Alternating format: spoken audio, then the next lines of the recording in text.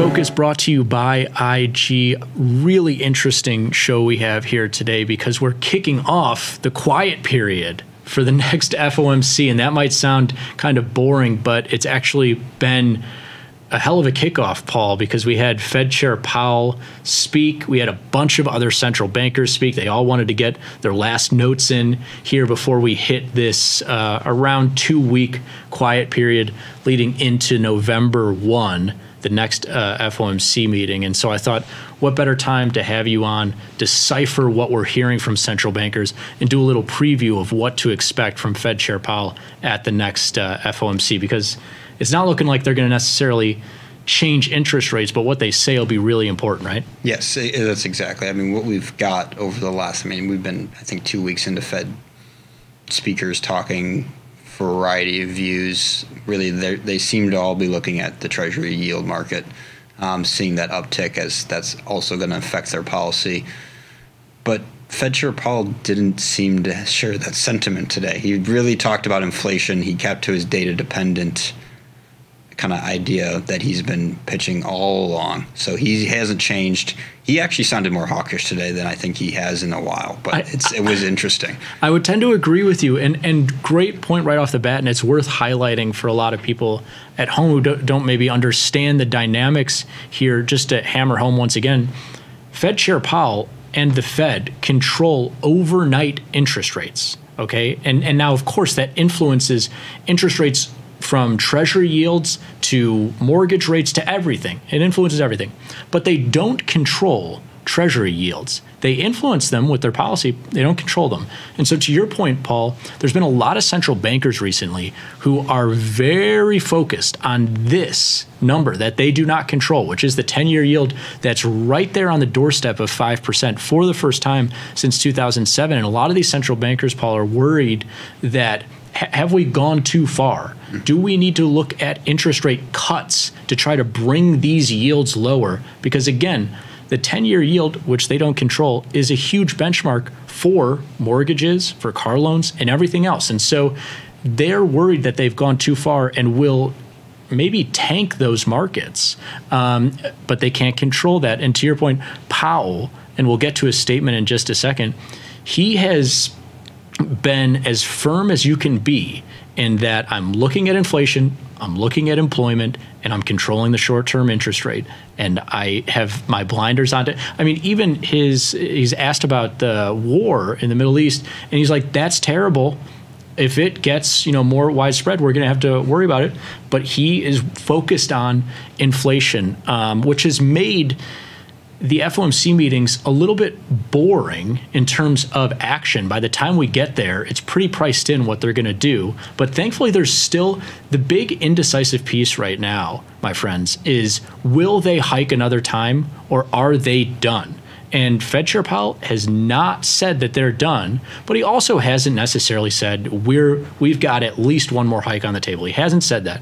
And so we have here Paul in November 0% chance of another hike for that meeting. But what he says at that meeting will push the December meeting closer to hike or not hike because it's not 50 50, but it's 70 30, which is more than a lot of people would expect.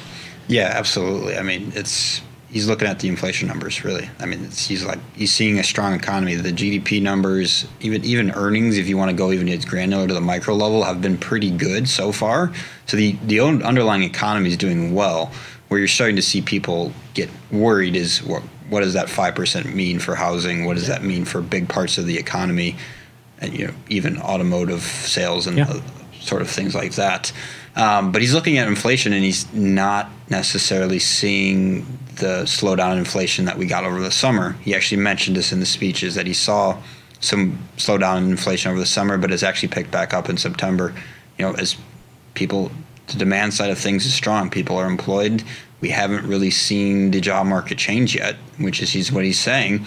So that's where you're starting to cre- this chance of another hike is starting to creep up, and it has been creeping up over the probably the last month or so here. So that's something to keep in mind. It's and I mean, the FX moves have been all over the place, kind of back and forth within 50 points today. So yeah, and you and I were talking before the show because the, the yield curve is so weird right now, and and it's pushing and pulling on forex markets in a really interesting way for short term trading because it's i mean we, we saw today around his statement we saw you know 60 pips higher in euro back to unchanged and then close the day higher um, so big moves, but a lot of it is confusion around, like I say, this this weirdness whereby are, are interest rates moving higher or are they not? In the short term, they're not moving that much higher. Um, to your point, they have moved a little bit higher. Those odds, for example, have gone from around like 10 to 20 percent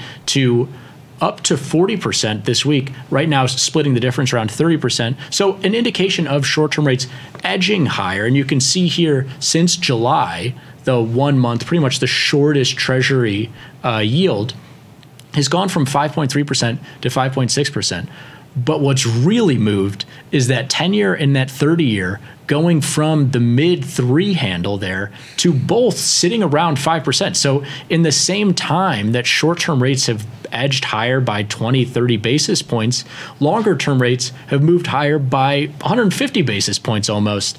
Um, and so, with that, you're getting this Forex market that is like, is this dollar strength or is this normalization in their curve and like an unchanged dollar maybe undo some of the dollar strength because rates aren't necessarily screaming higher, Paul? They're, if anything, just kind of normalizing, right? Yeah, exactly. I mean, you have to remember that Forex is a spot market. So it's going to really take into account those short term interest rates over the long. Um, so that's kind of the push and pull. Um, and then when you have Powell talking about possible higher inflation, which means probably another rate hike, then you, you get the dollar strength there. So it's it's that push and pull that you're getting. You're basically getting a yield curve that's getting back to normal. It hasn't been normal for now almost I don't even know how long we're in over almost year, two years. Almost yeah. two years of an inverted yield curve. So now we're getting back to the normal yield curve, but we also could have the the front end of the yield curve or the short end of the yield curve actually still go higher, which is the, basically the uncertainty and what happens. It's how you get the volatility, how you get the back and forth. It makes it very interesting if you're an intraday trader, but that's that's kind of what we're getting. Yeah, because yields have broadly moved higher. And here you have the 10 year over the course of the last 10 years plus, and you have it overlaid with that dollar yen market. And you can see both of them have broadly moved higher, especially if you close uh, off anything prior to the middle part of 2020. It has been a straight shot higher almost, aside from some volatility at the end of last year, start of this year. We saw some dollar weakness in, in different periods. But highs in yields, highs in dollar. But to your point exactly, yields aren't necessarily screaming higher in the short term and not affecting that spot market that forex traders are looking at. Um, even though yields are moving so much higher in the long term, and we're seeing this normalization, it, it almost kind of is that soft landing, so to speak, because the alternative, of course, Paul, is how else do we get a normal yield curve if long term interest rates aren't going to move higher? Well, short-term interest rates are going to have to crash lower, right? Mm-hmm. And and to get that, you usually have to see a stock market crash. So, really interesting times, weird times right now where you're seeing this strength in yields and dollar, but it, it it's not to the same extent you would almost expect to see, especially with that leg higher that you've seen in recent trade, that blue line yields really taking a leg higher in the 10 and 30 year duration. Dollars not seeing those new highs from last year. The the tell will be if there is another rate hike from Fed Chair Powell uh, either this year or start of next year. Because yeah, here was the exact words from him, which again were just he's he's a master at being a hawk and a dove at the same time. But I think to your point, I, the market translated it, I think, as hawkish. This was just 30 minutes later, but by the end of the day, the stock market much lower, interest rates much higher, um, and uh, dollar a little bit of a mixed bag. But uh, maybe you can speak to a little bit of his uh, statement here, the last statement that we're going to get before November, uh, especially that piece of they're seeing the downward pressure on inflation, Paul, but he's not saying that they feel great about it. They're not saying that they're done by any means.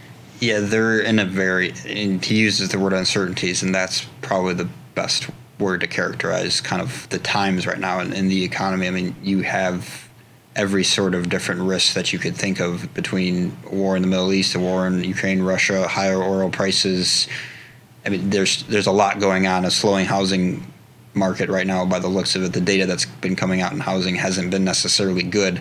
So they're very hesitant to go too far because historically the Fed has gone too far, and when they got, go too far, typically it, they they hurt the economy pretty badly. So they're kind of aware of that, but they're also aware that inflation might not be done. We, might have more of it, and it could be not even demand side inflation; could just be the supply side inflation of everything else that's going on in the world. No, that's a great place to leave it because I, I think it so well embodies the two things that we're looking for clarification from Fed Chair Powell on is are the geopolitical risks that we're seeing, not only in the Middle East war, of course, but also before that, there was all of the economic slowdown in Asia and parts of Europe.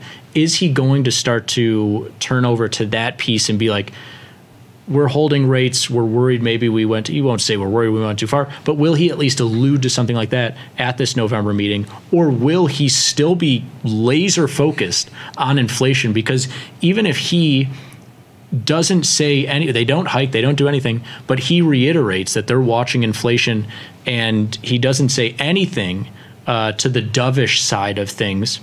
But even maybe we're watching that geopolitical risk because energy prices are, are, are getting up again, then that might be a case for traders to take this to another rate hike. But yeah, great point, Paul. It's it's every market's on edge between these two sides of of how Powell can come out at this next FOMC. It's going to be really interesting.